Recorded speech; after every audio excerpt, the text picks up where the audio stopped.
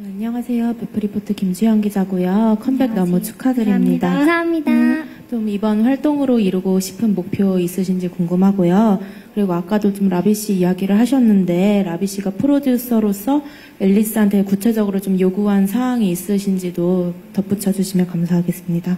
자, 활동 목표와 활동하는 데 있어서 구체적으로 어떤 요구사항이 있었는가? 네, 네, 혜성입니다. 해서요. 일단 저희 이번 목표는요, 엘리스 Summer Dream이란 곡을 summer에 여름이 딱 돌아오면 딱 생각나는 그런 곡이 됐으면 좋겠고 저희 엘리스 팀도 많이 알리고 싶은 각오를 갖고 활동을 임하고 있고요. 그리고 라비 선배님께서 같이 작업해 주실 때는 되게 저희가 처음에 긴장을 많이 했었어요. 선배님이시다 보니까. 근데 되게 하다 보니까 친절하게 알려주시고 오히려 더 아이돌 활동을 해보셨던 분이어가지고 더 디테일하고 그렇게 해서 저희가 좀 긴장 풀린 상태에서 되게 잘 나왔던 것 같아요, 곡이. 여름하면 생각나는 그룹이 되고 싶다. 네. 네. 또 질문 있으시면 손을 들어주시면 네, 여기 가운데 분. 안녕하세요. 톱스타뉴스 김효진 기자입니다. 안녕하세요. 네, 이번에 9개월 만에 컴백을 했는데 이번 앨범에서 멤버들이 비주얼적으로 가장 어떤 부분에 신경을 썼는지 궁금해요. 그 되게 예전보다 살이 많이 빠진 것 같아서요. 네. 그리고 이제 그동안 타이틀곡에서는 항상 이제 동물 컨셉이 있었잖아요. 1집에서는 토끼, 2집에서는 고양이가 나왔는데 이번에는 동물이 없어요. 왜 안 나오는지 궁금하고요. 그리고 마지막으로 그 소희 씨가 계속 포인트 안무 이렇게 선보였잖아요. 그 1월에 또 댄스 트레이닝 하러 미국에 유학을 다녀왔어요. 그, 그때 배웠던 게 이번 컴백에 어떻게 도움이 됐는지 알려주시면 감사하겠습니다. 네, 소희입니다. 질문 감사드립니다. 일단 제가 미국에 한 달간 다녀왔었는데요. 감사하게도 춤에 대해서 더 깊게 알아보라고 기회를 주셨어요, 회사에서. 그래서 LA에 가서 저는 외국을 많이 가보지 못했거든요. 근데 LA에 가서 정말 다양한 문화를 제 눈으로 직접 봤고, 그게 정말 큰 도움이 된 것 같고, 물론 우리나라도 너무너무 춤 연습생 때 되게 연습을 많이 했는데 LA에 가서 추니까 더 많이 배웠던 것 같아요. 네, 그래서 그걸 배워서 이제 저희 찰랑찰랑 안무를 짤 때 그래도 제가 안무를 짜는 거를 조금 어려워했었는데 미국 갔다 오고 나서는 좀 그래도 시, 어, 순탄하게 잘 짰던 것 같아요. 네, 그리고 이번 앨범 에 동물이 없다고 이제 질문을 주셨는데요. 저희가 일부러 막 동물을, 동물을 빼거나 이번 앨범에 그런 포인트 안무를 넣지 않은 게 아니고 저희가 썸머송이라는 타이틀을 가지고 컴백을 했기 때문에 저희가 조금 더 바다와 시원한 느낌을 전달해 드리기 위해서 동물이 아닌 이번엔 바다를 전달하는 느낌에 조금 더 포인트를 줬습니다. 네. 그리고 기자님께서 비주얼적으로 살도 많이 빠지셨다 그랬는데 어디에 중점을 두고 관리를 했는지 좀 말씀해 주세요. 네, 벨라입니다. 네. 유경이 같은 경우는 수시로 필라테스를 좀 자주 하고 관리를 하는 편이에요. 어, 저번 활동에는 식이요법이만 조금 많이 했다면 요즘에는 멤버들이랑 같이 필라테스도 하고 같이 운동도 하면서 조금 건강하게 살을 빼는 데 중점을 뒀습니다. 네. 필라테스를 열심히 했답니다. 안녕하세요. 테나시아의 윤호 기자라고 하고요. 질문 안녕하세요. 두 가지 있는데요. 1주년 기념일 때 뭐 V LIVE 말고도 멤버들끼리 어떤 얘기, 어떤 각오를 나눴는지 궁금하고요. 그리고 다음 달에 러블리즈나 좀 이렇게 청순, 에이핑크처럼 청순한 컨셉 의 걸그룹들이 많이 컴백하잖아요. 근데 엘리스도 계속 청순한 컨셉으로 활동을 해왔던 것 같아서 그 두 팀과 비, 구분되는 엘리스의 매력을 좀 구체적으로 설명해 주시면 좋을 것 같아요. 네. 1주년 멤버들끼리 어떤 다짐과 어떤 얘기를 했는지. 네, 혜성입니다. 어, 저희가 어, 1, 2집보다는 3집에서 더 소통을 얘기를 많이 하고 각자 좀 고민이나 이런 거를 많이 들어 듣다 보니까 서로 얘기 의사소통을 많이 해가지고 팀워크를 단단히 다져서 나온 것 같고요. 그리고 러블리즈 선배님이나 에이핑크 선배님들 같은 아주 청순한 컨셉의 아주 예쁘신 분들이 많이 나온다고 들었는데 저희는 또 앨리스만의 색깔과 앨리스만의 이런 순수함 이런 컨셉이 또 있기 때문에 저희는 열심히 할 예정입니다. 또 저희가 아직 신인이잖아요. 저희보다 훨씬 더 활동을 많이 하셨고 러블리즈나 에이핑크 선배님들 같은 경우는 되게 노하우가 많으실 거라고 저희가 모니터링하면서 항상 얘기를 하거든요. 그래서 저희도 선배님들 따라서 더 청순하고 예쁜 그룹이 되도록 하겠습니다. 네. 청순하고 예쁜 걸그룹 열심히 또 순수함까지 있는 앨리스입니다. 중앙의 뒷분에 네. 질문 감사합니다.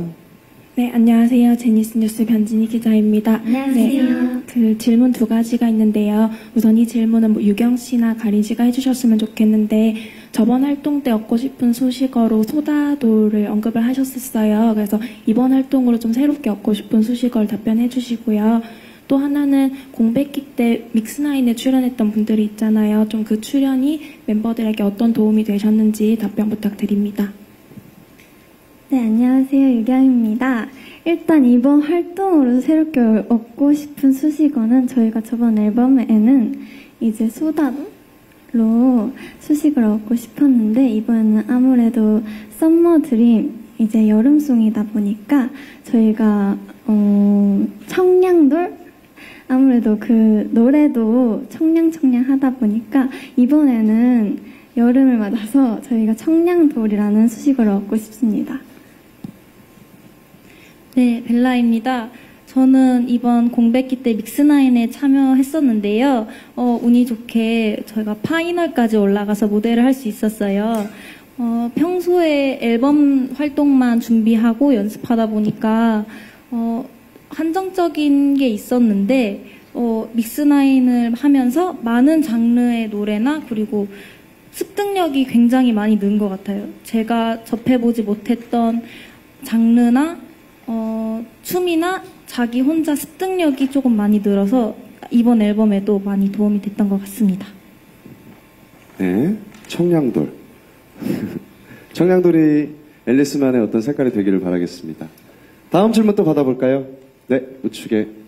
네, 안녕하세요. 저 스포츠 경향 하경원 기자고요. 안녕하세요. 네, 컴백 축하드리겠습니다. 두 가지 질문 좀 드리고 싶은데 아까 벨라 씨 말씀에서 약간 좀, 좀 궁금해진 건데 그 공백기가 한 9개월 정도이잖아요. 그러니까 뭐 길면 길다, 뭐 짧으면 짧, 짧다 이런 말씀하셨는데 그 부족한 부분에 대해서 보완을 많이 하셨다는 말씀을 했어요. 그래서 어, 좀 구체적으로 어떤 부분이 좀 1, 2집을 모니터했을 때 우리가 좀 모자라는 부분이라고 생각해서 어떠한 방식을 통해서 좀 이를 좀 바꾸고 좀 보완하게 됐는지 네. 그 부분은 좀더 뭐 멤버 아무나 괜찮으니까 구체적으로 말씀해 주시면 좋을 것 같고 그리고 두 번째는 그 이제 컨셉에 관한 질문인데요. 그러니까 그 아무래도 청순함이나 이런 또 청량함을 강조하기 위해서 이제 지금도 좀 입고 계시지만 비닐 상이 있어요. 그래서 이게 상당히 좀 그 팀 전체가 이렇게 있는 경우가 많지 않은 것 같아서 굉장히 좀, 좀 독특해 보이긴 하는데 이게 사실 또 비닐 의상이라는 게 또 느낌은 좋지만 입고 춤을 출 때 또 땀도 잘 차고 또 좀 예전에 특히 좀 어려운 컨셉이라 박진영 씨 정도만이 소화했던 이런 컨셉으로 알고 있는데 좀 이렇게 왜 이렇게 비닐 컨셉을 좀 도입을 하게 됐는지 궁금하긴 하거든요. 그래서 요 좀 애로사항이 있으면 말씀해 주시고 아니면 좀 이러한 이유로 좀 하게 됐다. 뭐 그런 좀 이유가 있다면 말씀 좀 부탁드릴게요. 네, 어, 소희입니다. 일단 네, 이 소희 양. 의상에 대해 설명을 드리자면요. 비닐. 네. 네. 저희가 이번 컨셉이 투명이에요. 그래서 슬로건도 투명 슬로건이고요. 그리고 부채도 투명 부채고요. 네, 이번 티켓, 쇼케이스 티켓도 투명이에요. 그래서 저희가 이 PVC를 컨셉으로 둬서 이걸 PVC라고 하더라고요. 그래서 네, 이걸 PVC랍니다. 하는데 이게 정말 더워요. 지금도 습기가 차서 아까 산옥하고 왔는데 계속 말렸거든요. 이게 지금도 다 습기가 차고 있어요. 음, 그래서 근데 이렇게 힘들지만 보기엔 너무 예뻐서 저희도 거울 보면서 만족하고 있습니다. 난 지금 옆에서 보고 있는데 정말 습기가 지금 잔뜩 차 있습니다. 아, 보기엔 굉장히 시원해 보이는데 또 이런 고통이 있네요. 요즘 유행이더라고요. 네, 유행. 네, 저희가 네. 왜? 저도 한번 입어보도록 하겠습니다. 나중에 꼭. 자, 시간 관계상 질문 여기까지 받고 제가 추가적으로 몇 가지만 질문 좀 할게요. 좀 꼭 알려드리고 싶은 게 있어서. 제가 너무 급했네요. 어떤 네. 점을 보완하 아, 네. 어떻게 보완했는지 질문을 주셨는데요. 저희가 1, 2집을 준비하면서 1, 2집도 바로 나왔어요. 2집이 1집 다음에 그래서 조금 더 모니터할 시간이 조금 부족했고 또 표정 연기라든지 표현력이 조금 부족한 면이 모니터에서 많이 보였어요. 그래서 이번 앨범에는 서로 거울 봐주면서 영상을 찍어서 보여주면서 같이 표정 연습을 했고요.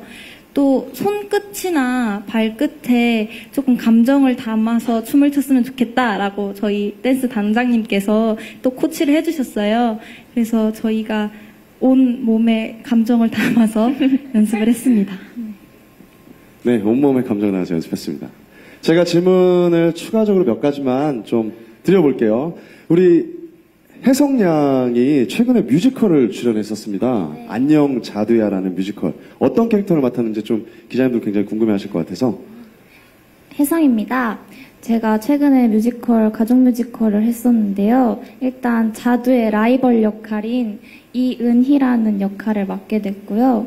음, 되게 가족 뮤지컬이지만 어린이뿐만 아니라 되게 엄마, 아빠, 부모님까지 되게 즐길 수 있는 뮤지컬이라서 굉장히 매력적인 뮤지컬을 즐겨, 즐기면서 했었던 것 같습니다.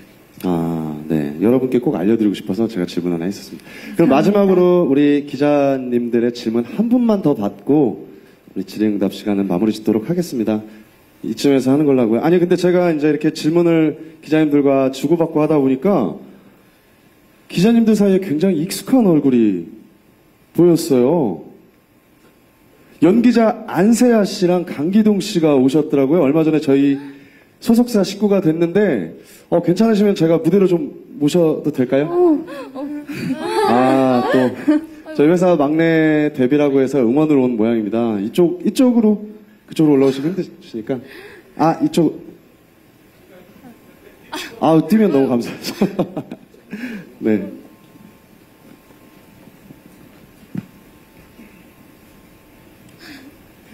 네, 올라오고 있습니다.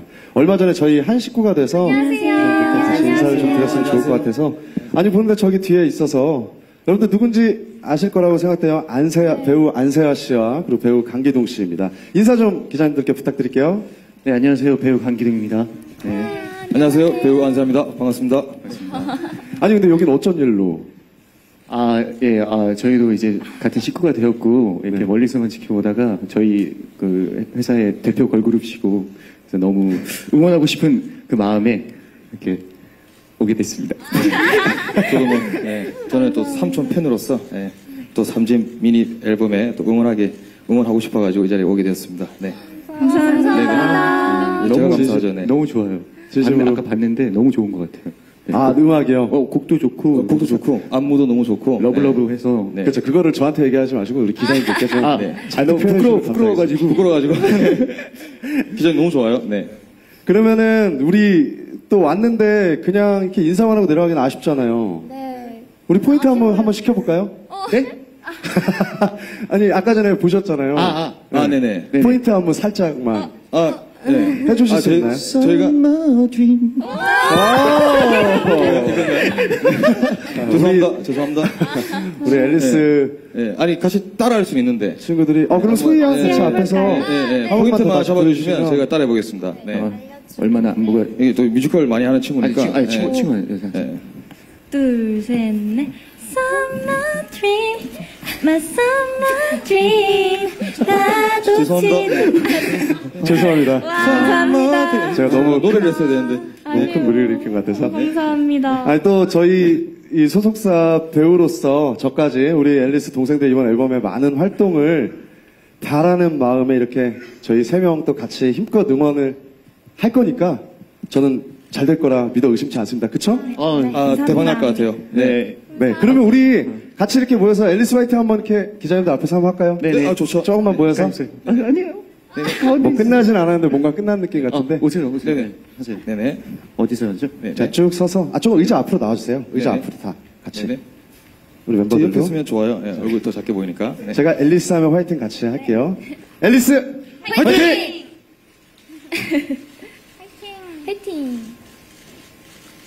화이팅! 네, 감사합니다. 감사합니다. 두 분 너무 감사드리고요. 네. 감사하다고 인사 서로. 감사합니다. 팬이 됐습니다. 팬이 네, 됐습니다. 고생했습니다. 감사합니다. 네. 두 분 앞으로도 좋은 활동 기대하겠습니다. 네, 잘 부탁드리겠습니다. 네, 감사합니다. 감사합니다. 감사합니다. 자, 막간을 이용해서 이렇게 또 응원 와주셔서 너무 감사하네요, 저도. 앉아주세요. 네.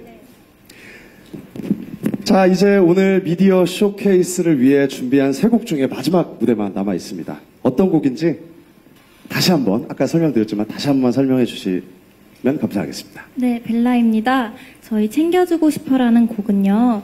앞에서 보여드렸던 썸머드림과 찰랑찰랑이 여름 낮에 들으면 좋을 곡이라면 참- 챙겨주고 싶어라는 곡은 여름 밤에 들으면 딱 맞는 발라드 곡입니다.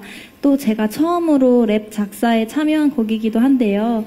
어, 많이 신경 써서 작사했으니까 또 예쁘게 봐주셨으면 좋겠습니다. 감사합니다. 네, 우리 벨라 양의 랩 작사에 참여했다고 합니다. 엘리스의 감성을 느낄 수 있는 발라드 챙겨주고 싶어 들어보겠습니다.